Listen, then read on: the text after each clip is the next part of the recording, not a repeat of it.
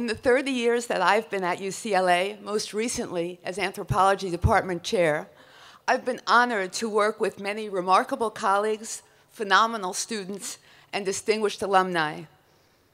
One of the most satisfying aspects of my job as department chair has been connecting with alumni who have changed the world in important and unexpected ways. Today's keynote speaker is an excellent example. Professor Susan Smalley earned her undergraduate degree in anthropology at the University of Michigan and her master's and doctorate in biological anthropology right here at UCLA, specializing in population, population and behavior genetics. She continued her UCLA career with postdoctoral work in medical genetics and childhood psychopathology. She then joined the faculty of the Department of Psychiatry and Biobehavioral Sciences in our medical school and spent decades studying the genetics of childhood onset behavioral disorders such as autism and attention deficit hyperactivity disorder, better known as ADHD, which Today, she is a professor emerita in the Jane and Terry Semel Institute for Neuroscience and Human Behavior at the UCLA David Geffen School of Medicine. When Sue found herself going through a life changing medical odyssey, she discovered the value of intuition as a means of acquiring knowledge.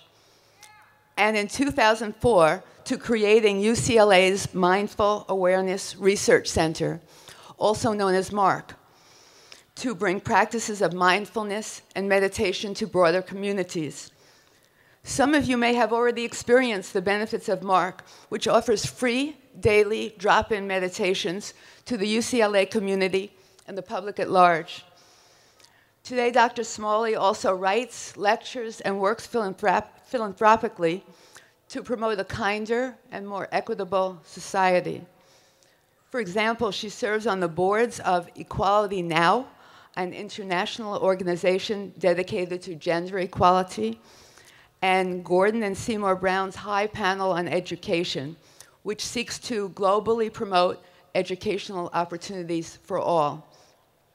Sue is also dedicated to the health and well-being of her family, including her husband, Kevin Wall, and her three adult children, Patrick, Tim, Kelly, and their partners, all of whom are here today. So please help me give a warm and proud welcome to one of our own, Professor Susan Smalley, UCLA anthropologist, scientist, writer, philanthropist, and our 2013 Department of Anthropology commencement speaker.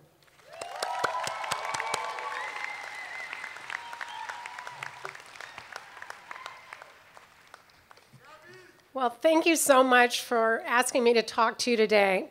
Dean Duranti, Professor Browner, faculty, parents, friends, and graduates of 2013. Woo!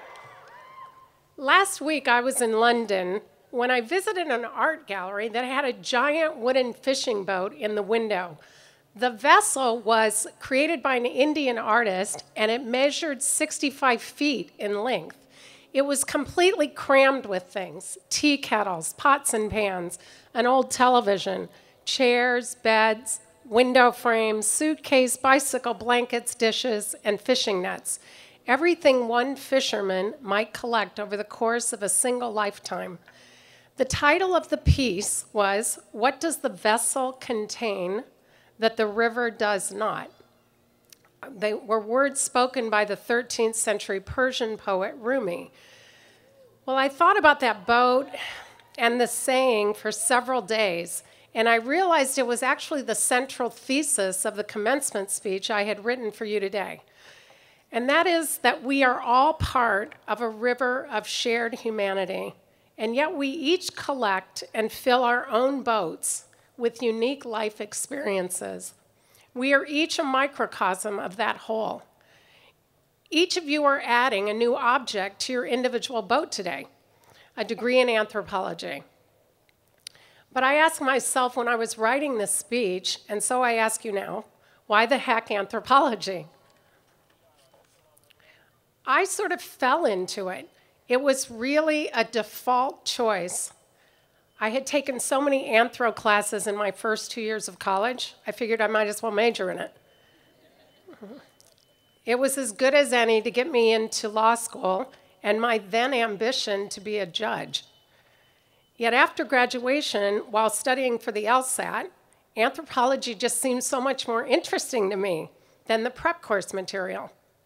I had loved studying gorillas, had even learned to speak some Navajo, had discovered the healing power of plants in ethnobotany. And I soon found myself in graduate school here, specializing in biological anthropology, particularly the evolution of human behavior. You know that science actually shows we have something called a default brain state, and it's what our brain does when it's not doing, not planning, organizing, or deliberately thinking. This default brain state is associated with our being, not our doing nature, and it's thought to play an important role in understanding oneself. So I would say my being side led me to anthropology, and my doing side helped me complete the PhD. After graduate school, as you heard, I moved across campus to the Department of Psychiatry. Well, that didn't really fit into what most people think of as anthropology, but it's exactly why anthro is such a unique field. It is the study of humankind. It's why you'll find anthropologists in all sorts of careers. It prepares you to be an investigator of what it is to be human. Whether you do that through art, psychology, law, medicine, science, film, or business. For me, I worked as a behavior geneticist trying to understand who we are as human beings by finding genes and how they influence the brain, how they interact with the environment, and how they shape what we think, feel, and do. My work began, as you heard, with autism right out of graduate school, where I spent many years meeting families with two or more children with autism and listening to the experiences of what it's like to live with that condition. I came to know many people with autism and saw them well beyond a diagnosis. But I also saw how psychiatric diagnoses like race, religion, gender, and physical differences can be stigmatizing and a focus of discrimination. From autism, I shifted to att attention deficit hyperactivity disorder, or ADHD, where there was very little research on genes for this very common and highly heritable condition.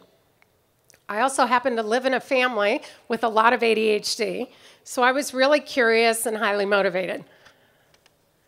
As we searched for risk genes, I became more interested in the strengths of those with ADHD, not just their difficulties.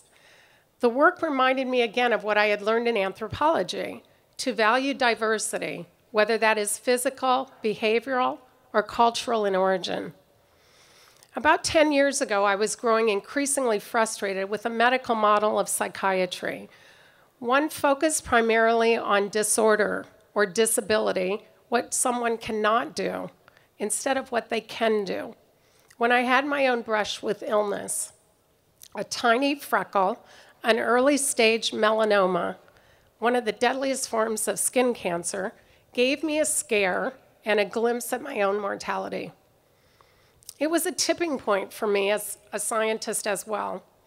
I began to let go of a belief that science is the only valuable means of knowing, and I began to explore alternatives particularly first person methods of investigation like meditation, yoga, Tai Chi, and other practices I previously had rejected as from a very skeptical scientific slant. These practices cultivate a mental state of being present with experiences as they happen, with open curiosity as opposed to judgment or criticism, a mental state called by many mindfulness. In a short period of intense study, I learned how powerful mindfulness can be to better know oneself and find meaning in life. Then I discovered a growing body of science around mindfulness showing that it is an antidote to stress, to feeling out of balance and overwhelmed, and that it impacts the immune response, brain structure and function, even gene expression and it enhances overall health and well being. It's why I spent the last decade of my life at UCLA bringing mindfulness to the hospital, the campus, and the LA community at large. And now, why scientists all around the world are working to understand how and why it can be so beneficial. Mindfulness brings you to the present moment, that being state of mind, in contrast to the doing state you use every day to get things done. These two kinds of minds have been described throughout human history by many different names. Einstein called the intuitive mind, he, he called them the intuitive mind and the rational mind when he said, The intuitive mind is a sacred gift, the rational mind a faithful servant. We've created a society that honors the servant and has forgotten the gift. So, why anthropology? I think we all share characteristics that draw us to this field. They are the characteristics of our being, what Einstein called that intuitive mind. They are the three C's creativity, connectedness, and compassion.